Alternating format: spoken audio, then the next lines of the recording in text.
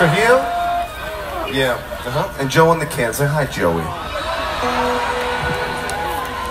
It's been, I was thinking about it. I think it's a bit, about 10 years almost since I've played in the Hammer, so it's a wonderful to be back. Without further ado, make yourselves at home, make yourselves comfortable, and here they come. Okie dokie.